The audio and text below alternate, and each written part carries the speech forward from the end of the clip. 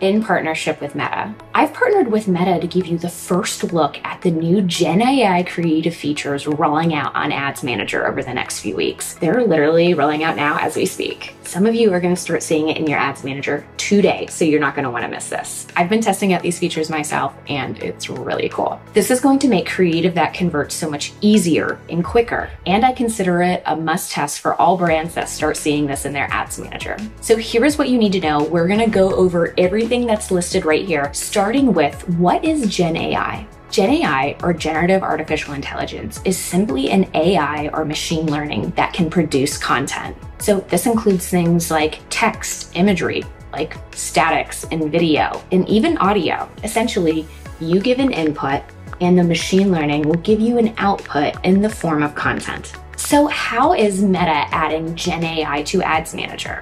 Meta is going to be implementing Gen AI at the ad level slash creative level. So we're actually putting in the creative that shows up on social feeds. So this is really going to influence how we're developing creative because we're going to be able to produce a lot of that creative directly in Ads Manager. What's really cool about this too is you're going to be able to develop even more creative variations. And we all know how important creative diversity is right now. First, let's start with image generation. This is actually a brand new feature by Meta. All you have to do is provide an initial image and the AI will create entirely new visuals for you. This makes creative diversity and testing new visuals way easier. And there are two options that you're gonna have inside of Ads Manager to get those new images. Currently, advertisers are able to generate new backgrounds around a specific product in their Advantage Plus catalog ads. But now advertisers can create new background images behind any object as long as it has a solid or transparent background. I also found that this has improved quite a bit since their Advantage Plus catalog ads product. The next one is going to be images that are inspired by your initial image. So you're essentially creating brand new visuals from that initial input. Now, the thing that I like about this the most is that for both of these options, you also have the ability to directly add text overlay to that image. And this is really important. You're also going to have the ability to select which images you actually want to show up on people's social feed. So you don't have to worry about Gen AI going rogue and putting something out there on the social feeds that you didn't approve. And number two is generating ad copy. And this is also experimenting right now with adding brand voice and tone. And essentially what this means is you're going to be able to generate primary text and headline copy all with the touch of a button. As Meta starts building this out, you're going to start to see more recommendations that are guided by your previous campaigns and text input. At least that's where the product is heading. And you're going to be able to see a few examples of this in those initial outputs outputs, but over time that should grow.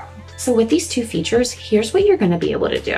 You're going to be able to easily generate multiple image and text options, which is ultimately going to help fight creative fatigue and improve your performance. It's also going to save you a ton of time and resources. And with the new voice and tone options, you're going to be able to stay on brand. All right, so how do we test these features out? Meta is rolling this out gradually, so some of you are going to be able to see it today, or it could take a little bit longer. Most accounts, however, should be able to see it in the next four to six weeks. The plan, though, is to complete the rollout by the end of the year. Be sure to let me know in the comments if any of you are starting to see it. The Gen AI creative capabilities are located at the ad level, and specifically the image generation capabilities are located at the Advantage Plus creative section. And the text generation option is going to be located under primary text as well as headline. And my understanding is, is that portion is going to be a little bit of a slow to roll. So let's give this a quick test directly inside of Ads Manager. So we're going to use a fake brand that I created called Figure Neck Cream. So when you you go to the ad level and you put in your initial image,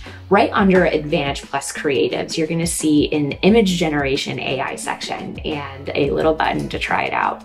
And here's where you're going to be able to see your two different options. You're going to have your image featuring an object or images inspired by your ad creative. So let's try the image featuring an object.